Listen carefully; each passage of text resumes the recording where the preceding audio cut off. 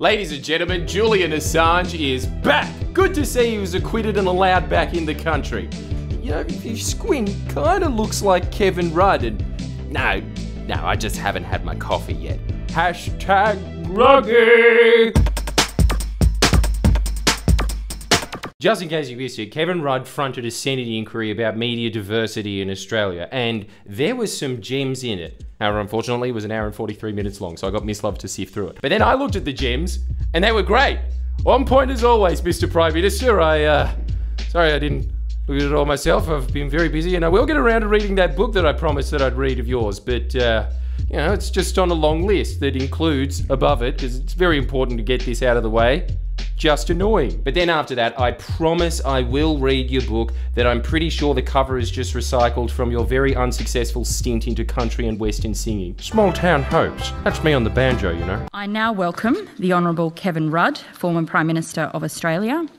I understand that information there on parliamentary privilege and the protection of witnesses and evidence has been provided And to a you. boy, and he's looking pissed. The. Hansard record. I haven't seen him this angry since the teleprompter fucked up his Chinese translation. He's gone for the kill. Ni hao, motherfuckers. Okay, let's just start off with. Oh no, it's a clip of Sky News. So, just to put this into context, you are watching Friendly Jordies react to Kevin Rudd, who is reacting to Alan Jones. I bet when you were eight years old, you didn't think you'd be venturing down that wormhole. They've made this point, haven't they? This great reset. There'll be no money, no private property, no democracy. Some big outfit will take over all our debt, all our debt. We'll have no debt, whatever your credit cards, your bank loans, all that sort of stuff. But in return, Jesus, Alan Jones is so drawing. As soon as he speaks, I feel like a dog. You, sit down, roll over. Now go watch me play Franklin D. Roosevelt in Annie. Can we make that a meme template, please?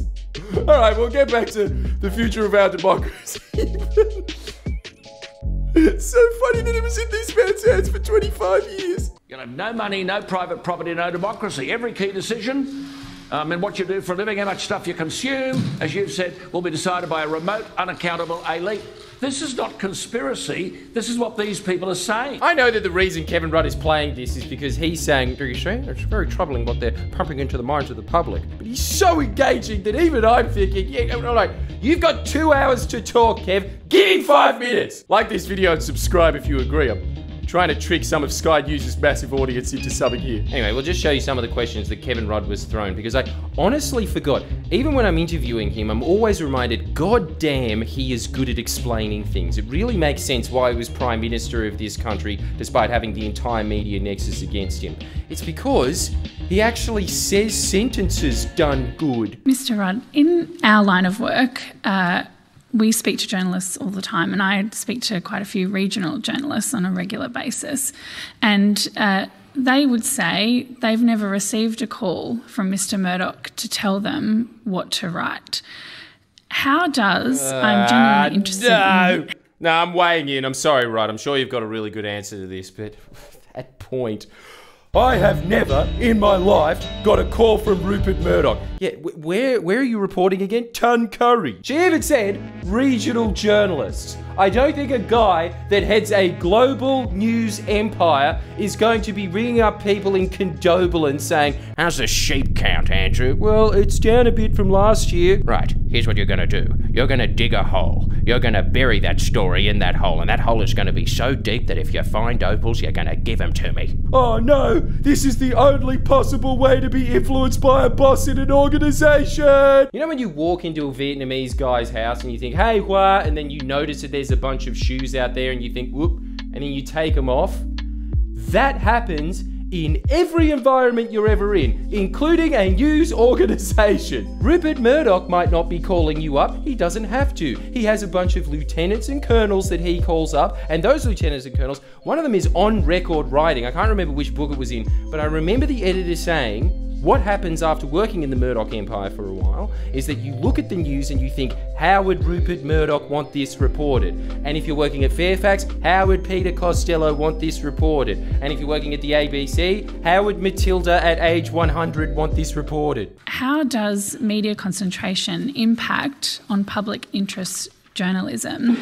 and how are uh, those front pages, um, how do they come to be when you've got journalists who I would describe, um, for the most part, are incredibly hardworking and go into the profession with really noble pursuits? Well, I wouldn't say that from the journalists I know. I'd say that 99% of them came into it with the pursuit of putting in their Tinder profile. Works at SMH. Is that a hot job? No.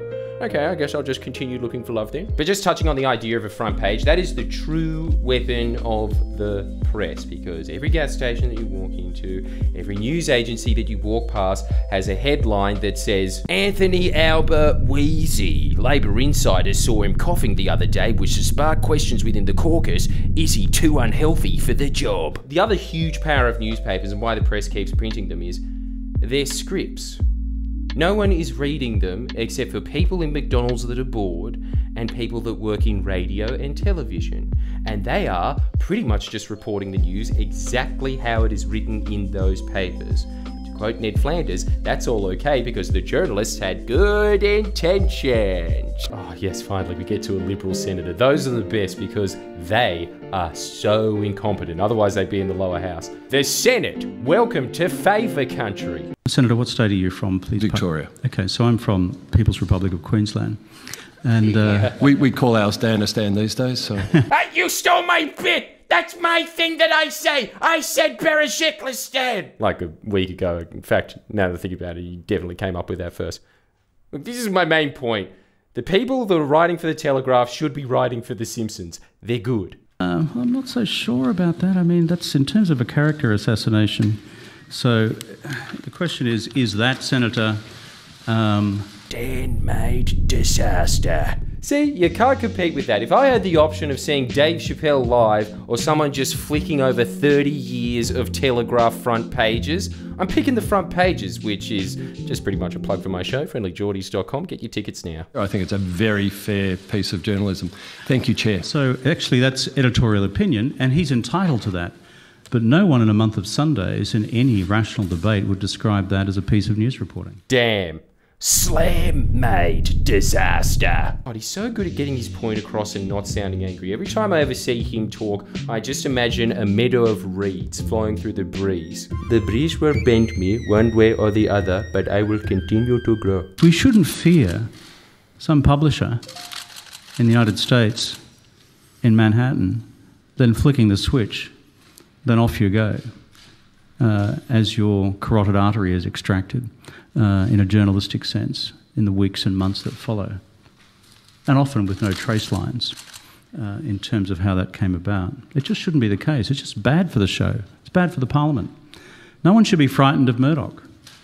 But let me tell you, he's a frightening sort of guy because of the power that he wields. It's chilling, isn't it? You remember in the interview when he was talking about how it weighed on his mind the entire time he was Prime Minister? Every announcement that he was about to make, thinking, fuck, what's he going to say now?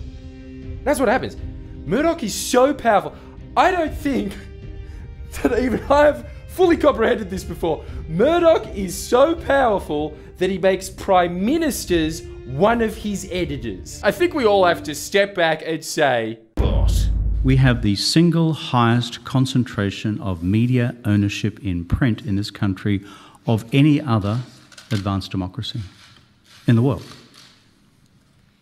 Yet somehow we think that this is normal. It ain't. And the fact that we're all worried about, God, I wonder what the Rupert's going to think about what I've just said, or Lachlan, or the, the henchman who you'll have in here soon, um, as members of Parliament and the rest, just shouldn't be the case. But that's a product, Senator Carr, of their ownership. I think we need to do it again. Bounce. Anyway, that's uh, my contribution. Uh, You seem to have this whole media thing handled pretty well, Mr. Rudd. And I pointed out the, um, the case study of someone that they were seeking to eviscerate uh, on the pages of the Daily Telegraph at the time. And I said to David Penberthy, Why do you do that? Well, what? To which his answer to me was, chillingly, quote, because we can, unquote. I never forgot that. And we just shouldn't be in a position where any of us fear that happening to any of us. Whether it's from Auntie, but doesn't really happen much there. But with the News Corporation mob, they love it. They celebrate it, as evidenced by the comment to me by Penberthy. Jesus. Doesn't that say it all? That is the entire how to solve a problem like Friendly Jordies video condensed into a minute. I told you the guy was concise. The whole point of that video is that the press is not there to inform you. It is pretty much just a tool that is used to hit the enemies of the proprietor. But he just gave evidence of that instead of me just being like, yeah, well, that doesn't read like it said you did. Well, I'm going to put a really bad slant on that. Like the video. My question goes to your assertion that the Murdoch has a monopoly here in Australia. There's three types of media outlets in this country print, media, and online. The largest growing uh, media outlet is online. The declining, the other two, uh, both media, uh, television, and um, uh, print, are both declining. What percentage of free to air networks do the Murdochs own in Australia? Well, the only, um, oh, well, in terms of free to, free to air television, you're talking Free to about. air television, sorry. Well, of course they don't. Um, That's right. Senator. Oh, yeah, Rupert Murdoch doesn't own any free to air television. Therefore, how can he 70% of newspapers that all the other journalists that are on television and radio use as a direct script? We have an entire channel outlining how they do it over and over again. Have any influence on television? Do something in your spare time is fun. Go look up what Liberal senators did before they were senators. Look at this guy, Gerard Rennick. What's his qualifications? A Bachelor in Commerce.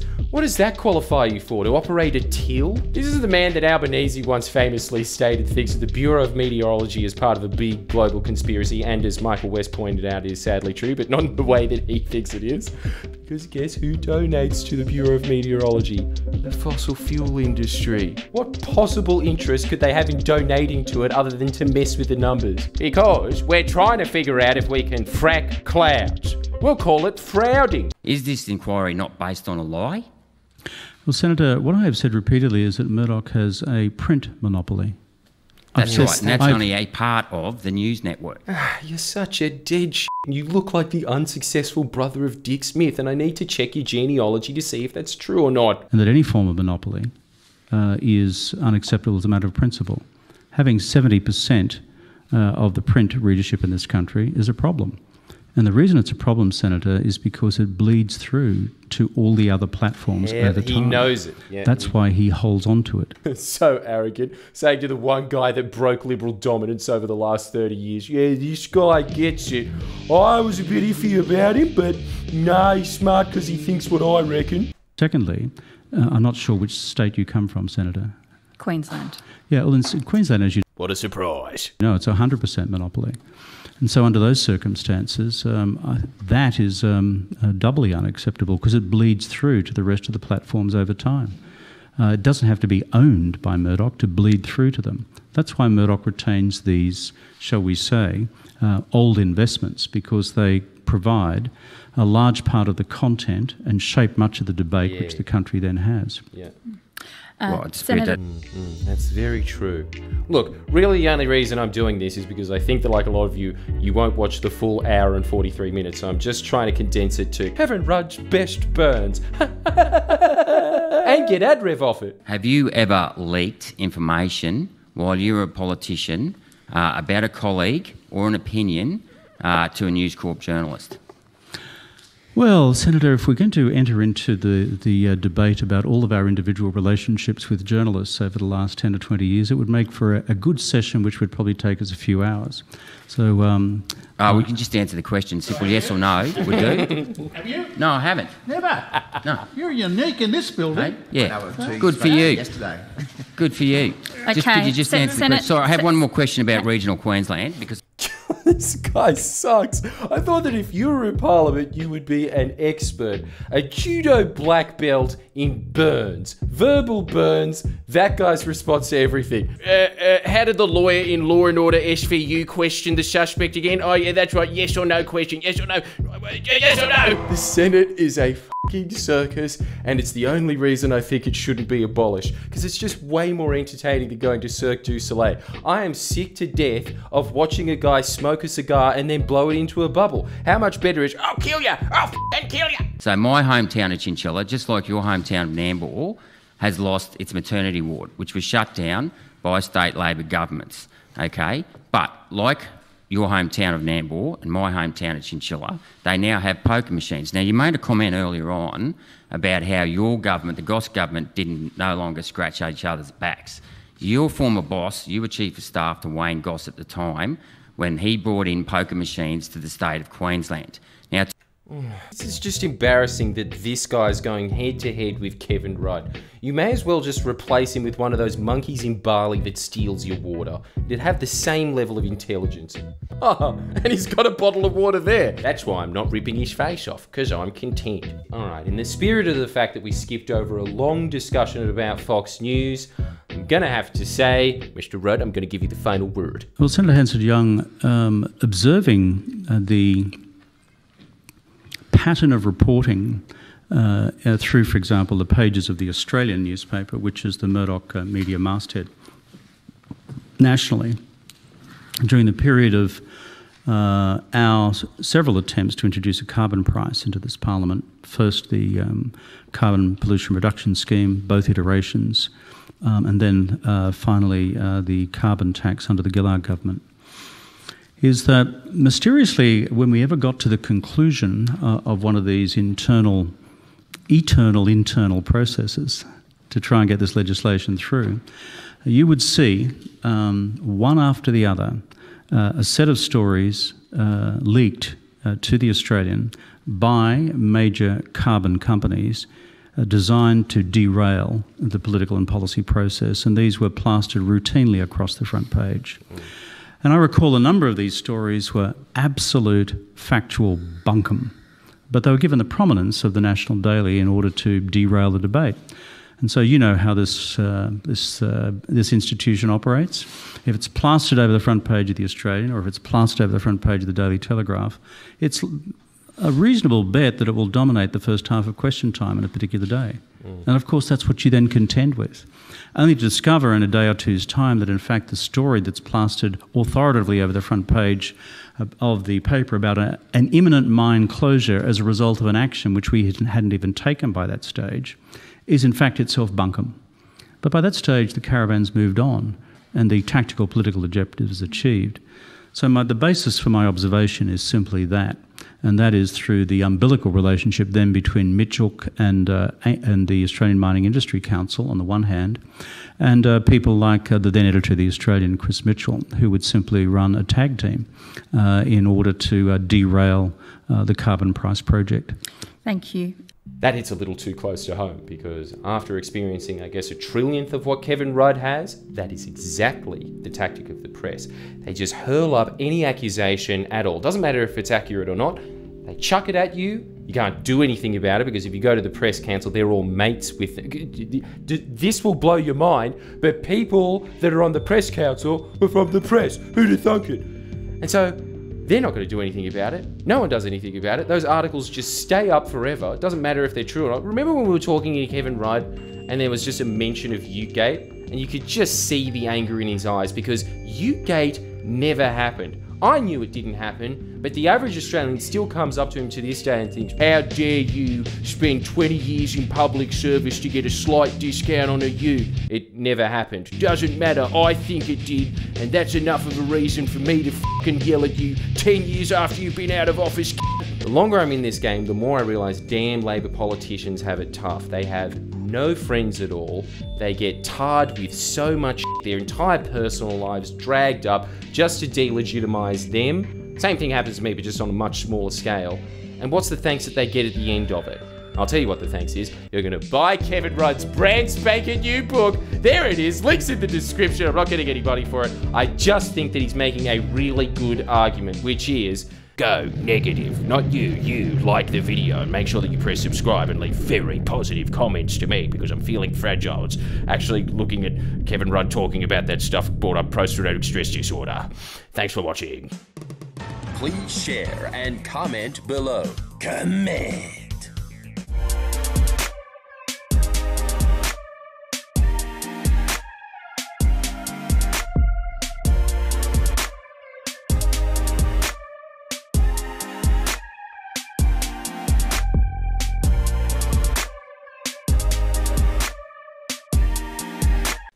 You're at it, go buy Just Annoying. It's a big ant. Whoa!